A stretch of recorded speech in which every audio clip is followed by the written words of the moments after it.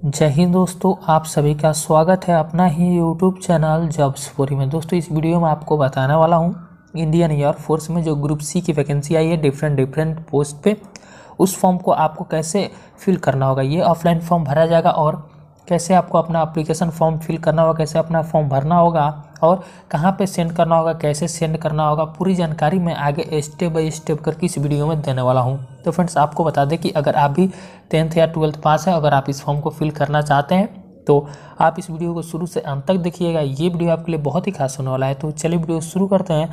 उससे पहले आपको बता दूँ कि अगर आप इस चैनल पर पहली बार आए तो चैनल को सब्सक्राइब करके बेल आइकन को प्रेस कर लीजिएगा, क्योंकि किसी भी वैकेंसी के बारे में सबसे पहले अपडेट मैं इसी चैनल पर लाता रहता हूँ।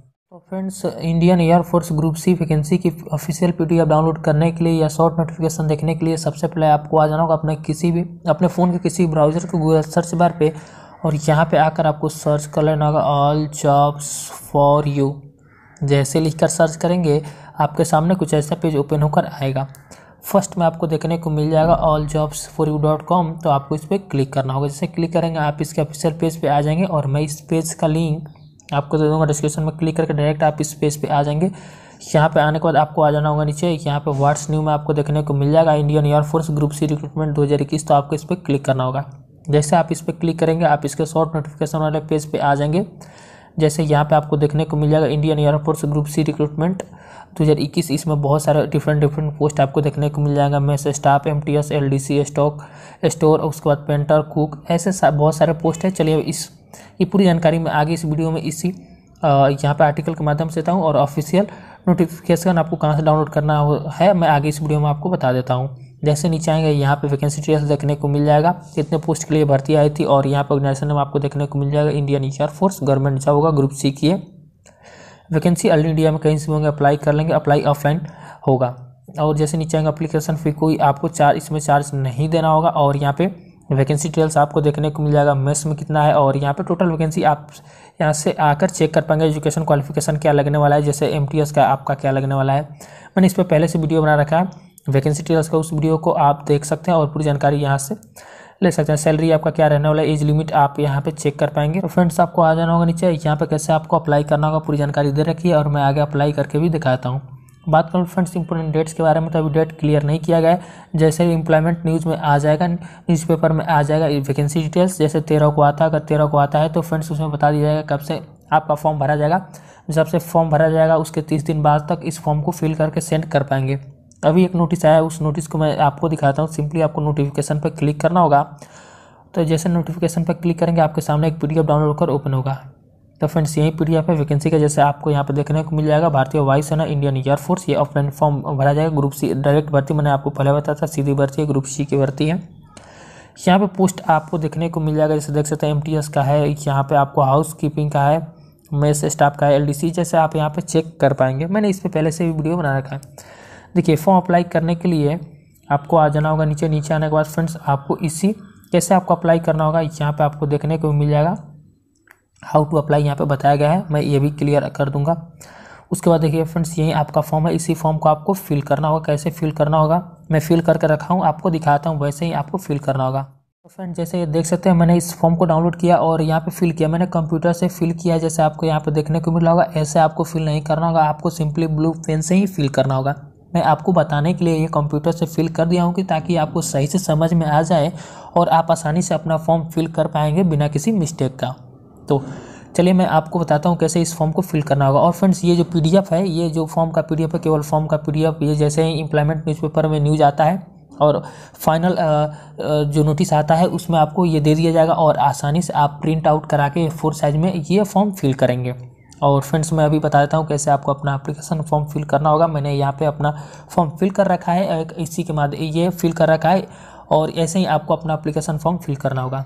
जैसे फ़र्स्ट में आपको देखने को मिल जाएगा फॉर्मेट ऑफ़ एप्लीकेशन आप देख पाएँगे। और सबसे पहले आपको यहाँ पर देखने को मिल जाएगा जो मैंने ये फिल किया है, ये कहाँ से फिल किया है, उसके बाद ये एयरफोर्स स्टेशन कहाँ से फिल किया है।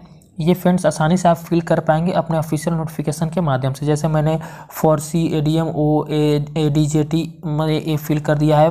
या एयरफोर्स स्टेशन में ये मैंने एड्रेस फिल कर दिया है। ये आपको ऑफिशियल नोटिस में ऑफिशियल नोटिफिकेशन में देखने को मिल जाएगा। वहीं से ये आपको फिल करना होगा, मैं आपको दिखा देता हूँ। तो फ्रेंड्स ये ऑफिशियल नोटिफिकेशन है, जैसे आपको देखने को मिल जाएगा। अप्लाई फॉर पोस्ट आपको देखने को मिल जाएगा यहाँ पे। ये पोस्ट नेम है, उसके बाद यहाँ पे आपको कैटेगरी देखने को मिल जाएगा पे स्केल देखने को मिल जाएगा और यहाँ पे पोस्टल एड्रेस आपको देखने को मिल जाएगा। जैसे फ्रेंड्स अगर आप मिस स्टाफ से अप्लाई करना चाहते हैं यू आर हैं तो आपको ये फिल करना होगा। जैसे मैंने पहले फिल किया था यहाँ पे ए में ए फिल किया था और एयरफोर्स स्टेशन में ये एड्रेस फिल किया था। ऐसे ही अगर आप ये एम अप्लाई करना चाहते हैं तो फ्रेंड्स ये फिल करेंगे। इस एड्रेस पे आपको सेंड सेंड भी इसी एड्रेस पे करना होगा फॉर्म फिल करके। उसके बाद डी यहाँ पे फिल करेंगे एयरफोर्स स्टेशन में आपको ये फिल करना होगा इतना। तो फ्रेंड्स इसमें से कोई भी कैटेगरी आप ले पाएँगे और देख पाएँगे और आसानी से ऐसे ही फिल करना होगा। जैसे एच है तो एच फिल करेंगे उसके बाद फ्रेंड्स डीएमओ है तो डीएमओ फिल करेंगे एन है तो एन फिल करेंगे ये सब आपको देखने को मिल जाएगा। ऐसे ही वहाँ पे फिल करेंगे जैसे मैंने फिल कर रखा है। तो फ्रेंड्स मैंने यहाँ पे सिंपली एमटीएस का अब वहाँ पे पोस्ट अप्लाई किया है तो वहाँ पे गलती से हो गया है। आ, मुझे मेस स्टाफ अप्लाई करना चाहिए था लेकिन मैंने आपको बताने के लिए एम टी वहाँ पर कर दिया कि आप कोई भी कर सकते हैं। चलिए मैं फिर से इस पेज पे आता हूँ। और यहाँ पे फ्रेंड्स मैं आपको क्लियर करता हूँ। जैसे फ्रेंड्स मैंने स्टाफ में स्टाफ मेस से ये स्टाफ मेस का है और मैंने यहाँ पे एमटीएस से अप्लाई किया है। आप जिससे भी अप्लाई करना चाहते हैं, कर सकते हैं। एम से अप्लाई करना चाहते हैं तो ये कोड जो डालेंगे एमटीएस का कोड डालेंगे। और अगर आप मेस स्टाफ से अप्लाई कर रहे हैं तो मेस स्टाफ का कोड डालेंगे। यहाँ पे एम है या मेस स्टाफ से अप्लाई करना चाहते हैं या कुक से अप्लाई करना चाहते हैं जिससे भी अप्लाई करना चाहते हैं, आप अप्लाई कर लेंगे, कोई दिक्कत नहीं होने वाला है। तो फ्रेंड्स ये आप समझ गए यहाँ पे ये जो ये मैंने कहाँ से फिल करा है उसके बाद यहाँ पे अपना पोस्ट किस पोस्ट के लिए अप्लाई करेंगे उसके बाद यहाँ पे अपना नेम फिल करना होगा यहाँ पे कैपिटल लेटर में जैसे मैंने यहाँ पे फिल किया उसके बाद फादर्स नेम जैसे मैंने यहाँ पे फिल किया उसके बाद डेट ऑफ़ बर्थ जैसे मैंने यहाँ पे ग्यारह ग्यारह संतानवे फिल किया ऐसे ही आपको फिल करना होगा उसके बाद एज काउंट आपको यहाँ पे देखने को मिल जाएगा यहाँ पे बताया जा रहा है कि लास्ट डेट जो अप्लीकेशन फॉर्म का है उस डेट तक आपका एज कितना हो रहा है जैसे यहाँ पे क्लियर किया गया आपको देखने को मिल रहा होगा ये आपको कैसे करना होगा, मैं आपको दिखा देता हूँ। और देखिए, यहाँ पर भी लास्ट डेट आपको नहीं बताया गया है कि किस डेट तक आप इस फॉर्म को फिल करके सेंड कर पाएँगे, क्योंकि अभी ऑफिशियल नोटिस नहीं आया है। जो अभी यहाँ पे बताया जा रहा है, इस नोटिफिकेशन बताया जा रहा है कि एम्प्लॉयमेंट न्यूज़ में जैसे आ जाएगा न्यूज़पेपर न्यूज़पेपर में जैसे आएगा न्यूज़ में आ जाएगा। तो फ्रेंड्स आप उसी दिन से फॉर्म फिल करेंगे, उसमें आपको इंपॉर्टेंट डेट्स भी देखने को मिल जाएगा, कब से कब तक ये फॉर्म फिल किया जाएगा। तो फ़िलहाल मैं अभी पंद्रह ले रहा हूँ कि पंद्रह से फॉर्म फिल करके आपको बता रहा हूँ। पंद्रह मार्च मैं लास्ट डेट लेकर रख आपको बता रहा हूँ, पंद्रह मार्च तक का लास्ट डेट रहने वाला है। तो मैं आपको बता रहा हूँ कैसे आपको करना होगा। तो फ्रेंड जैसे आप गूगल पे एज कैलकुलेटर सर्च करेंगे, आपके सामने ऐसा पेज ओपन होकर आएगा। फ़र्स्ट में एज कैलकुलेटर इस पर आपको क्लिक करना होगा। जैसे क्लिक करेंगे, आपके सामने कुछ ऐसा पेज ओपन होकर आएगा। तो फ्रेंड्स जो लास्ट डेट रखा जाएगा, मैंने यहाँ पे मार्च रखा है तो यहाँ पे सिंपली जो, यहाँ पे सबसे पहले आपको अपना डेट ऑफ़ बर्थ सेलेक्ट करना होगा। जो आपका फ़र्स्ट डेट ऑफ़ बर्थ है, वो फ़र्स्ट वाले में आपको सेलेक्ट करना होगा, जो भी आपका डेट ऑफ़ बर्थ हो।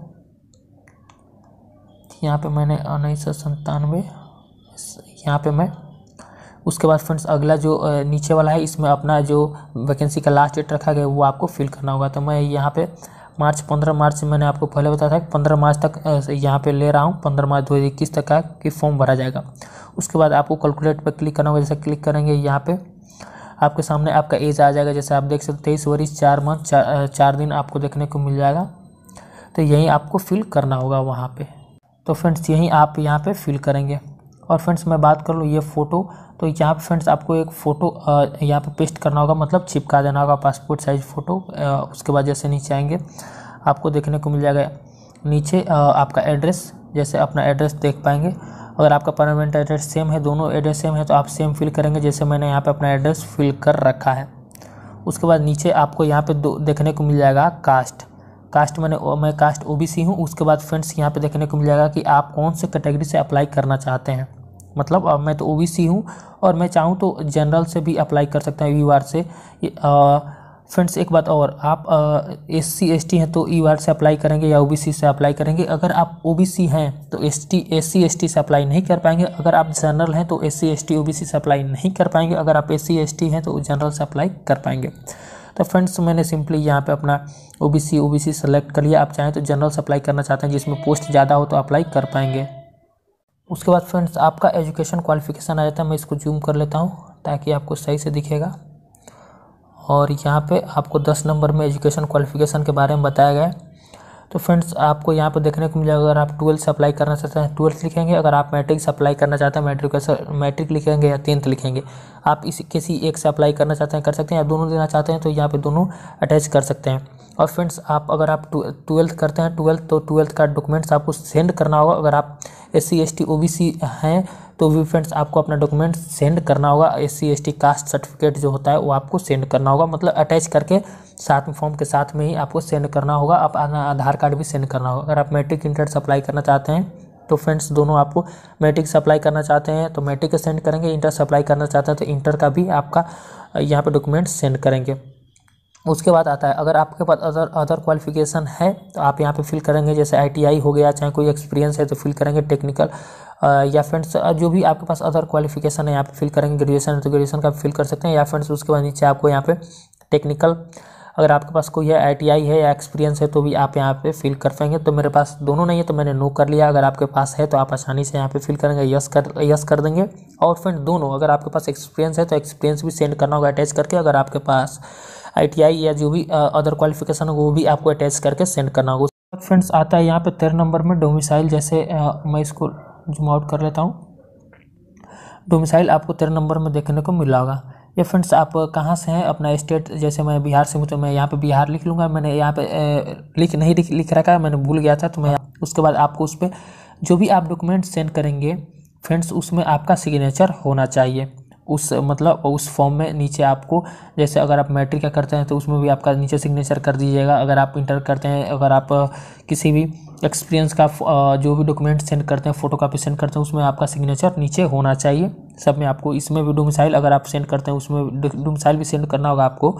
उसमें भी आपका नीचे सिग्नेचर होना चाहिए। उसके बाद यहाँ पर रोज़गार कार्यालय में अपने डिस्ट्रिक्ट में अगर आप रजिस्टर्ड हैं तो आपको एक फॉर्म मिला होगा, वो फॉर्म भी आप यहाँ पे सेंड करेंगे यस कर लेंगे। अगर आप नहीं है तो नो करेंगे नो पर टिक करेंगे। अगर है तो आप यस पर टिक करेंगे नो को काट देंगे। उसके बाद फ्रेंड्स नीचे यहाँ पे अपना प्लेस लिखना होगा। आप जहाँ से भी होंगे, वहाँ का प्लेस लिखेंगे। मैंने यहाँ पे मैरवा फिल करा। उसके बाद ये अपना यहाँ पे डेट लिखेंगे। जिस डेट को आपने यह फॉर्म फिल किया है, उसके बाद यहाँ पे फ्रेंड्स आप अपना सिग्नेचर करेंगे अपने पेन से। मैंने यहाँ पर कंप्यूटर से ही कर रखा है। ये करने के बाद ये जो फॉर्म है, आपका फाइनल फिल हो जाएगा। नीचे आने के बाद एक और आपको दूसरे पेज में देखने को मिला होगा ये फॉर्म ये फॉर्म यहाँ पे बताया जा रहा है कि ऑफ़िस रिकॉर्ड ओनली मतलब ऑफ़िस वाले ही इसको फिल करेंगे, जैसे रिसीव नंबर जो भी हो, यहाँ पे एक्सेप्ट रिजेक्ट जो भी हो, आप वो फिल करेंगे ऑफ़िस वाले। जैसे फ्रेंड्स यहाँ पे एक्सेप्ट रिजेक्ट अगर आपका रिजेक्ट कर दिया जाता है किसी कारणवश अगर आपका क्वालिफाई क्वालिफिकेशन सही नहीं है या फ्रेंड्स कुछ अटैच नहीं किया है कुछ गलत फिल किया है तो आपका रिजेक्ट करके और आपके, आपको सेंड कर दिया जाएगा। ये फ्रेंड्स ये आपका एडमिट कार्ड होने वाला है। इसी ये आएगा तभी आप एग्ज़ाम दे पाएँगे। ऑफलाइन आएगा आपके घर में और तभी आप अपने एलिजिबल होंगे एग्ज़ाम दे पाएँगे अगर आपके घर पे ये आएगा तो। फ्रेंड्स ये सब आपको ऑफ़िस के द्वारा फिल करना होगा। जैसे फ्रेंड्स ये ऑफ़िस के द्वारा ही ये भी फिल करना होगा। जैसे यहाँ पे मैंने फिल कर रखा है तो आप भी फिल कर सकते हैं, चाहें तो या छोड़ भी सकते हैं। लेकिन फिल कर दीजिएगा कर दीजिएगा तो सही रहेगा, जैसे मैंने फिल करा है। ये फ्रेंड्स ये भी बताएगा कि ऑफ़िस के द्वारा ही फिल करना है, लेकिन मैंने ये भी फिल कर रखा है। जो इम्पोर्टेंट है।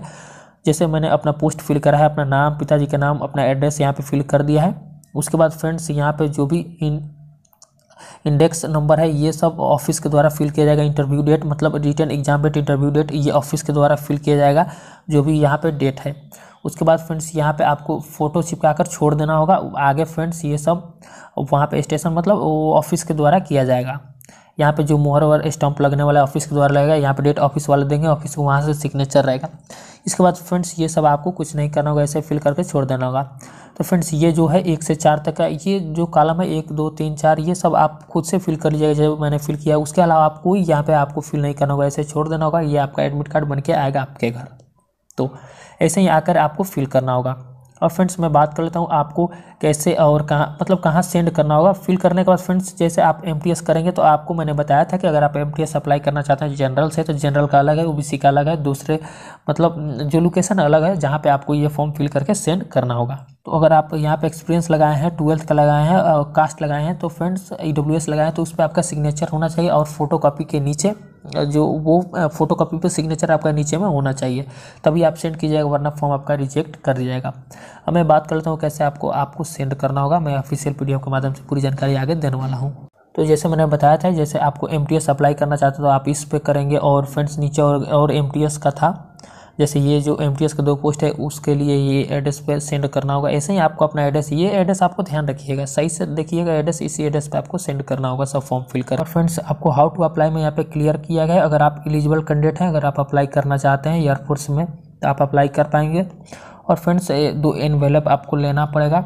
एक में आपका फॉर्म होगा, एक में आपका एडमिट कार्ड उधर से आएगा। तो फ्रेंड्स आपको दो एनवेलप लेना होगा, उसके बाद यहाँ पे फ्रेंड्स तो दस रुपये का आपका पोस्टल स्टाम्प भी लगाना होगा और लगा कर सेंड कर देना होगा। जिस एड्रेस पे आप सेंड करना चाहते हैं, मैंने आपको एड्रेस भी बता दिया है। साथ में फ्रेंड्स अपने जो भी डॉक्यूमेंट्स रखा है, वो सब डॉक्यूमेंट्स आपको सेंड करना होगा। उसके बाद फ्रेंड्स ये मैंने लास्ट डेट आपको बताया था, तीस दिन तक ये फॉर्म भरा जाएगा। जैसे फ्रेंड्स इंप्लॉयमेंट न्यूज़ में आता है तो फ्रेंड्स उस दिन से आप तीस दिन तक ये तीस दिन के अंदर तक ये फॉर्म फिल करके सेंड कर सकते हैं। अगर डेट के बाद आपका फॉर्म जाएगा तो फॉर्म रिजेक्ट कर दिया जाएगा। तो यही बताता आपको इस वीडियो में वीडियो के साल में कमेंट बॉक्स में ज़रूर बताइएगा। इसके अलावा आपके मन में कोई सवाल था, आप कमेंट बॉक्स में पूछ सकते हैं।